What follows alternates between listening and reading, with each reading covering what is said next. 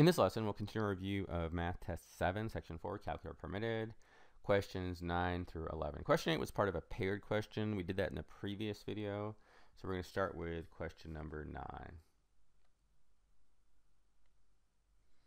Based on the equation above, what's the value of ax plus b? So this type of question, if we're asked to find a certain equation, we need to manipulate this to get that. And so here's an ax plus b. The first step is let's add 6 so at least we have an ax and a b on the left side. So we're going to end up with 9ax plus 9b. If we add 6, we get 27. So we're getting closer. How do we reduce this to get ax plus b? Well, we can divide the whole equation by 9. And then we get, we're looking for ax, we get the b. 27 divided by 9 is 3. So it's a pretty straightforward question where you have to manipulate to solve for what the question's asking for. All right, let's take a look at question number 10. Lanny spent 15% of her eight hour workday in meetings. How many minutes of her workday did she spend in meetings?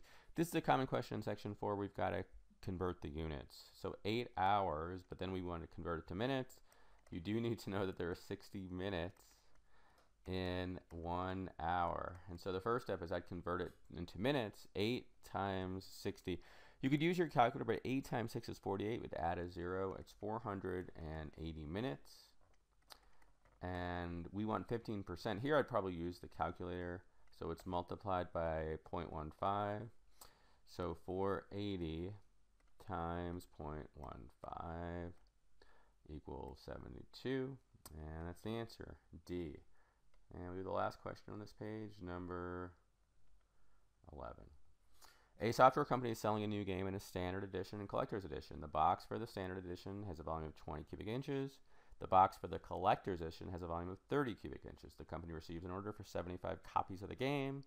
The total volume for the order to be shipped is 1870 cubic inches. Which of the following systems of equations can be used to determine the number of standard edition games S and the collector's edition games C that were ordered?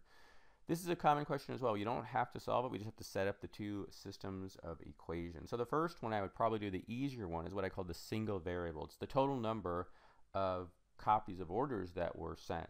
And we've got just two orders. We've got S for standard, C for collectors, and we're told that the total number of copies shipped was 75. So we know that S plus C equals 75. Now, we don't see that as a choice, but we can rearrange this. This has 75 minus S, so if we isolate, we solve for C, we can just subtract S. We get C equals 75 minus S, and that's what this first equation has, the second one as well.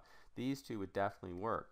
If we look at C, S minus C, we can't get that from this equation. These are both out automatically just because the first equation is wrong. Now we'll do the second equation for the volume. And so we know that the standard edition is 20 cubic inches and the collectors is 30. And so we've got 20 for the standard plus 30 for the collectors.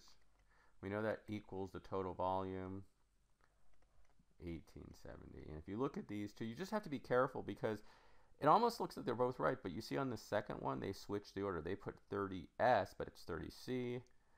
This one is correct, 20S plus 36. So just be careful. Not really a tough question. The answer here is A.